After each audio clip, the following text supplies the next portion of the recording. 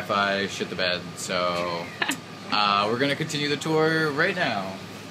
All right, we're back. Sorry. We're back. So we're going back in the studio. Yeah. We'll, uh, we'll only bother Sergio for a few more minutes and then. Yeah.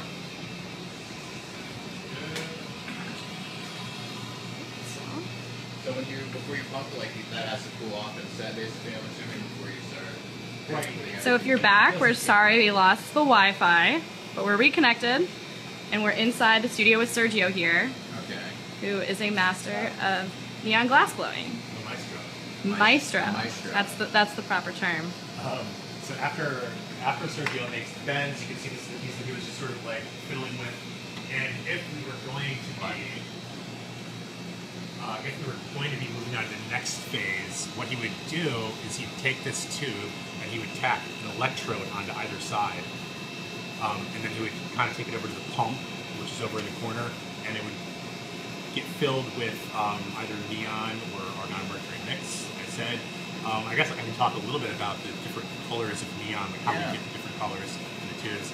Um, like I said, neon itself is typically this orange-red color, um, and blues and whites and pinks are often argon mercury mix. We get the colors basically either through stained glass or phosphorant coated glass, which this is. You can see that it's been a clear tube that's been coated with this phosphorant coating on the inside. So it's a combination of the sort of coloring that's on the glass and also the gas. Like I said, neon itself is orange red and argon mercury is blue. And you can see on the wall there's a few other gases we we use sparingly. The very top one over there underneath uh, Tesla's photo is argon. And then right below that is helium, that kind of pale pink Ah, color. okay. And then argon. Is argon a little bit less vivid because it doesn't seem as bright as the others? It is. It's exactly less vivid. In fact, it's really hard for it to function in like regular daylight. When I was pointed at a new school project, like, that's all argon. And Oh. I really love it. It's in a wasteland. Mm. It's beautiful. Ah. when it's isolated, it's this beautiful luminescent lavender light, which is amazing. It's kind of incredible, Yeah. hazy color. So someone asked again. I think you mentioned, but what is this white powder that's inside the tube? This is Protect uh, it. Coating. So, and I'm not a phosphorant expert by any stretch of the imagination. I couldn't really tell you. I couldn't give you like a chemist's answer as to like what's in the phosphorant, but basically different colors of this powder. It starts off as a powder, gets um, sort of attached to the inside of this tube. We don't really do any of that stuff ourselves. Some countries, some glass shops, more frequently color their own tubes. We sort of get ours from um, the remaining neon suppliers in the U.S., of which there aren't very many, probably like six to ten. I'd say. Really? Yeah. Wow. Um, so we're very narrow. Our color palette is kind of narrow. It's not that much we can really do. I mean, looking at like Interesting. between 40 and 60 colors. What is he working on over here now?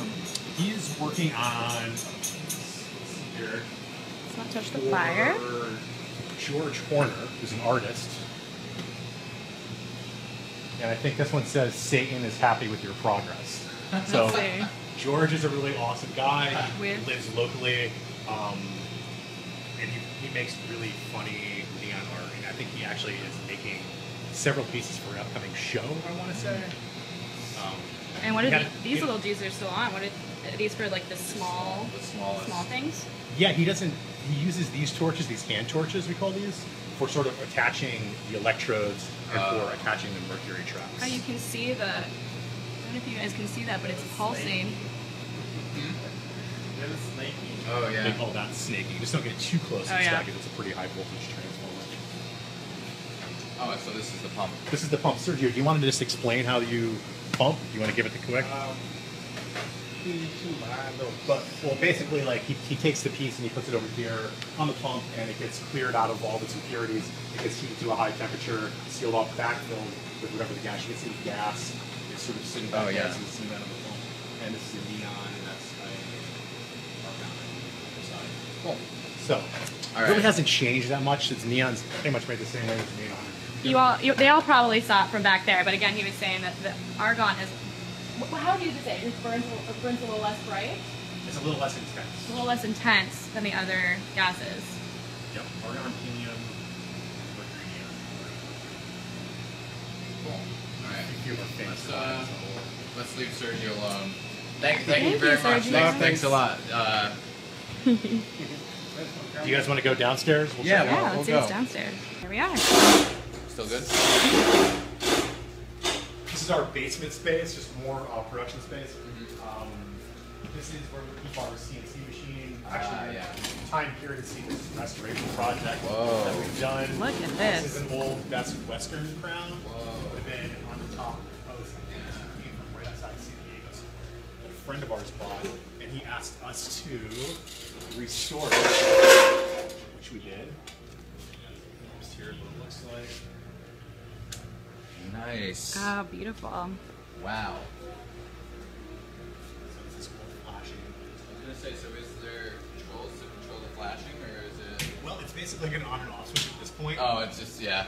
But what's in here, and you can kind of hear it if you're close. You get this little like tick, tick, tick, tick, tick, tick, tick. Mm-hmm. That's an old mechanical animator that's got a motor attached to it, and it has Oh. some contacts that just turn on and off. Huh. And the contacts are connected to this string of light bulbs. Yeah. That's how you get this really cool effect. Wow, that's great. Um, if we come over here, this is our and um, a lot of times for signs we end up sort of cutting substrates or like support material. That's what you see on the wall here. The alphabet is all stuff that was kind of cut on the machine. So I am a huge fan of cutting letter forms and making sort of dimensional stuff. So a lot of that stuff sort of happens down here. Is the CNC is that programmable where you can It you know you can write in a pattern and so I mean you do it on the computer and Exactly. CAD thing kind of and Yeah, we take send like, it over. We take like an illustrator drawing of like whatever the letter is, you know, this dream catchery shape. It would have like this would have been a hand drawing. Yep. Right, and then it got translated into Illustrator, and I turned it into a vector file. It's Yeah. a piece of aluminum.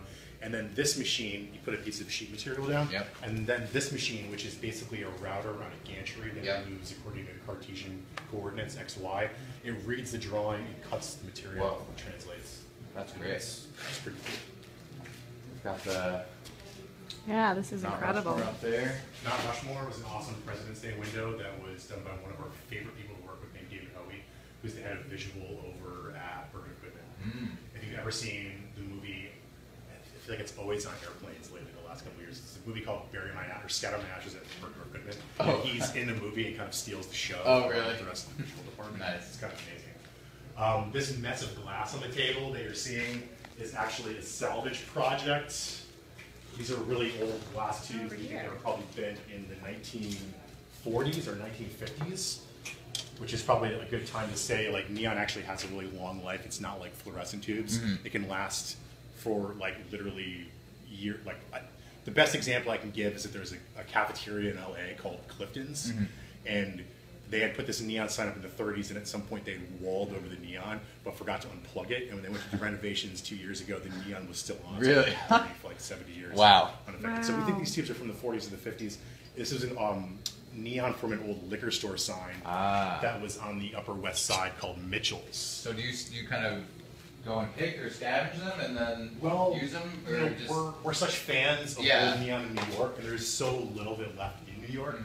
That we really try to kind of like support whatever salvage Yeah, operation of course. If you look over here, these are all the metal letters. This is what the neon would have been housed in. Ah, yeah, yeah. Stainless Yep. channel letter designs. Nice. Um, otherwise, the basement is more or less a like living graveyard of all Mhm. the older work that we've done over the years. Um, this was a Chinese place on Bleecker. This giant letter E you see back here was part this huge, probably like Whoa. 100 foot by 100 foot. This was the smallest letter on the sign. It's a 100 foot by 100 foot sign called the Eagle Clothes. It was around the corner, uh, and they kind of dropped the whole sign about two years ago through the dumpster. So we Went to that dumpster. What do you do with the re- once you refurbish these pieces of glass? What do you do with them? Do people buy them? We don't really sell them. I mean, we kind of kind of have stuff around here in the shop. I have a house in Pennsylvania that's kind of turned into a you know yard stuff that ends up in the backyard. But we try to kind of like hang them up and put the glass in them.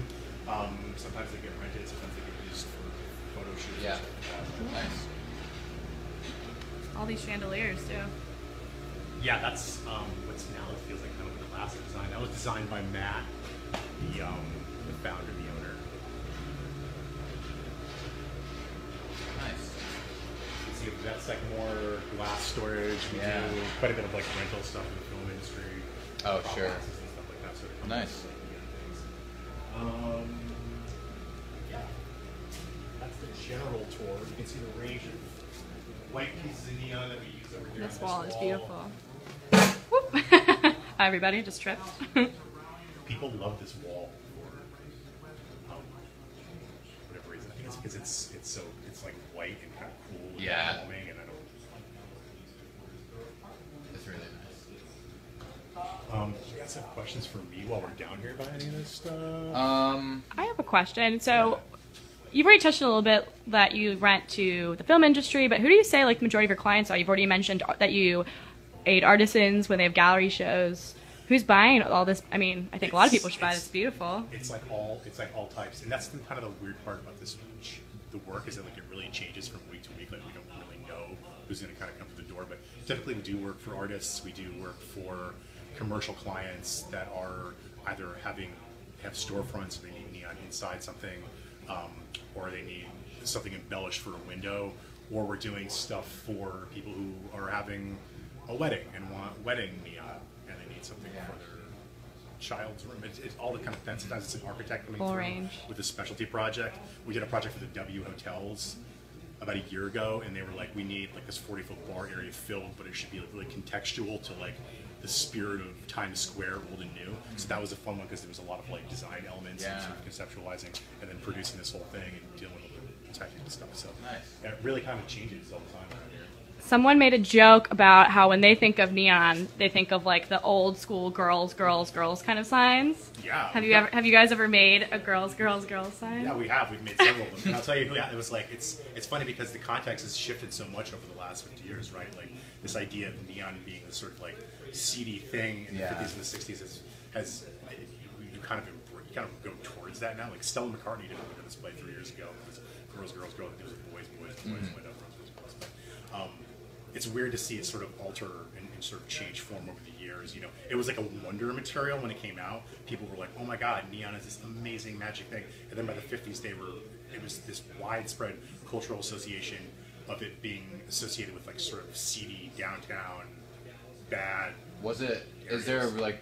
Was it very cheap to produce at that time? Is that why? I mean, like, you don't expect seedy places to kind of have a big budget, you know? So maybe was it like cheap to produce, cheap to buy, or? I think it was always sort of an expensive thing, to be honest with you. Oh, really? If, if you want to like get deeper into the history, there's actually a really good book by this guy Tom Rinaldi, who wrote a book called Neon NYC, and he makes this point that um, like neon became a sort of territory of the vernacular really quickly because like for a minute big corporations had neon but it was a very like because there's so much maintenance because it's all it's got to be handmade and, and it is kind of expensive to Yeah. and maintain um, they you see that this immediate shift in the 50s and 60s over to like this like sort of vacuum form plastic and like Yeah.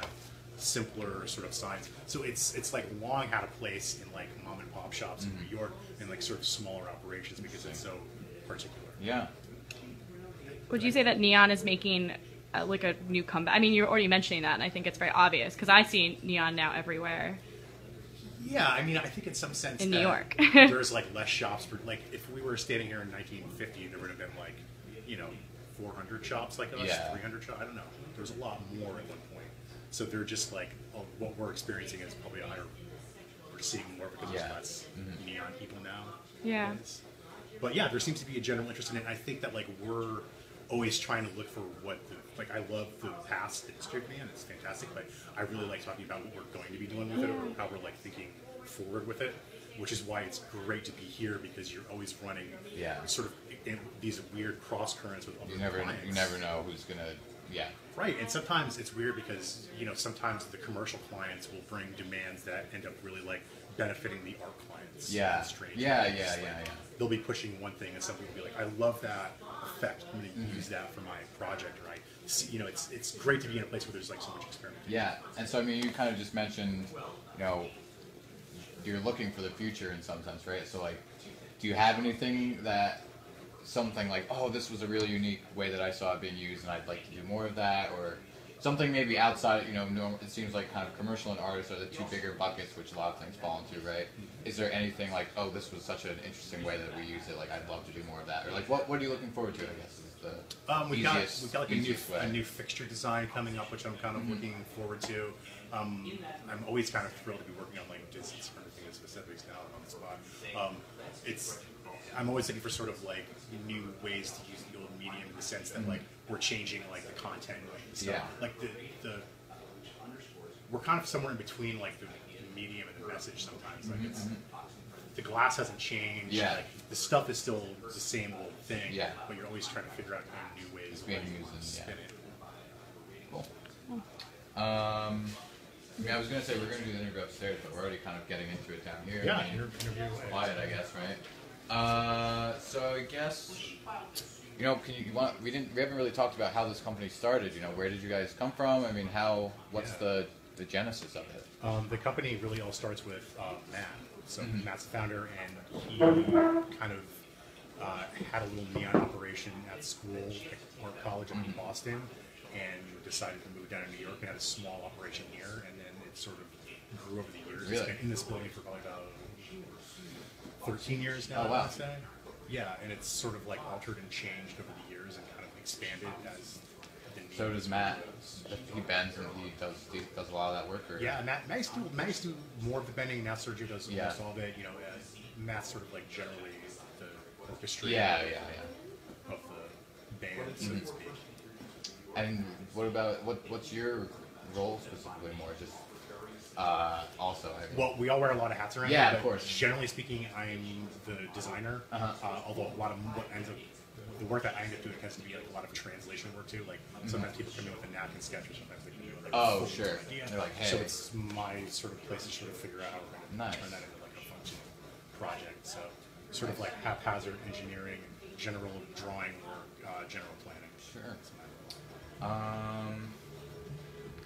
I feel like we done with questions. I feel like we I- should maybe just do one more walk around because Yeah, I I feel mean- like people like seeing. Yeah, I mean, Your beautiful uh, do you- art. I mean, anything you know, if you do you guys do specific exhibits or you have anything you want to kind of promote or plug, like website, I, I don't, whatever you We want. do- I mean, we do free, have a new free, website. Go go nuts. So We do have a new website All right. that we're kind of psyched about. Nice. We also have a new fixture that was in kind of in development right now. Okay. If you guys want to see that, I can show it to you. Uh, Yeah, I let's- we'd love to see it. What do you What do you mean by new fixtures? So Well, you know, we talked about should we, fixtures. should we like, shut this down? Like this, I think it's down. Okay. Um, this is like a fixture. So this is like a, a Oh, okay. neon chandelier Yeah. fixtures. Um, so we're looking at kind of like new, new sort of like neon. Okay. You just need picture. Yeah.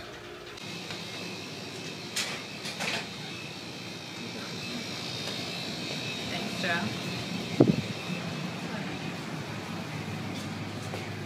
We also make Halloween costumes in our spare Oh. time. Yeah.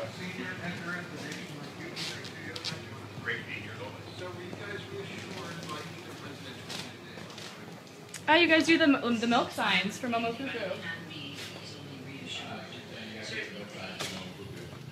Yeah. Yeah. This is a fixture Oh. that we've kind of been in development. Yeah. Like our prototype fixture, but it's kind of based on um, sort of like Islamic patterns. And specifically, there's this place called Olana, which is the painter Frederic Church's house up on the Hudson. Mm-hmm. And he had like all these really elaborate painted patterns throughout the house. So this neon is sort of based on some of the pattern work that's up there. So we made a couple of these now. We're talking about sort of trying to develop a more livable fixture. Cool. Yeah.